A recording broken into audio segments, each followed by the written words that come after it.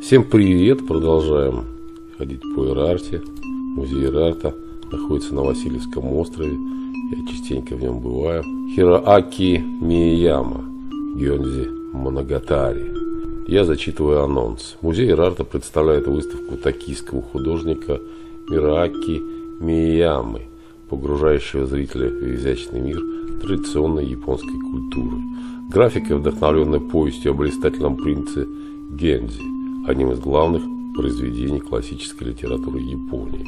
Филигранная техника цветного афорта, где каждый цвет печатается с отдельной медной пластины. Работы этого художника хранятся в собрании Государственного музея изобразительных искусств Пушкина и Государственного музея искусств Востока Гёнзи Моногатари. Первая в Санкт-Петербурге выставка художника, соединяющая в своем творчестве современность и традиционную культуру Японии. Экспозиция названа в честь одного из величайших творений японской классической литературы, созданного в эпоху Хэйан, Гёнзи Моногатари, или повесть о блистательном принце Гензи,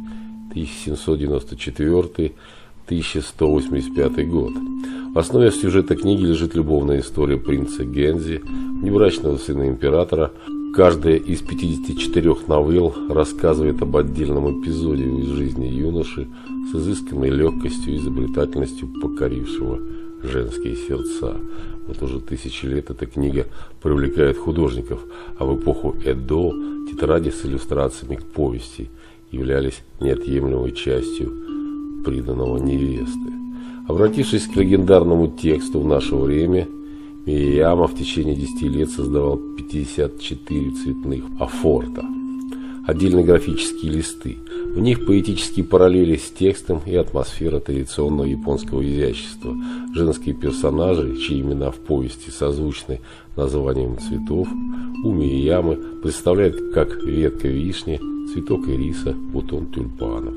Стилистику традиционной японской живописи Катё-э, картина о цветах и птицах, он сочетает с такими чертами современные западные гравюры, как свободное пространство, фрагментарность, недосказанность.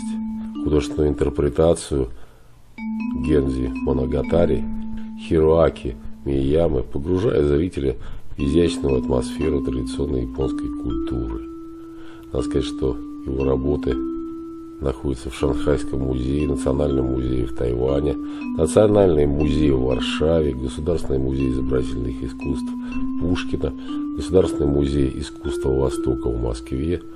С этими работами уже успели познакомиться зрители Японии, США, Китая, Италии, Бельгии, Чехии и других стран. Родился Хираки Мияма в 1955 году в Токио, Рисовал с детства, окончил в 1979 году Институт искусств университета Цукуба в Токио. В аспирантуре специализировался на технике эстампа.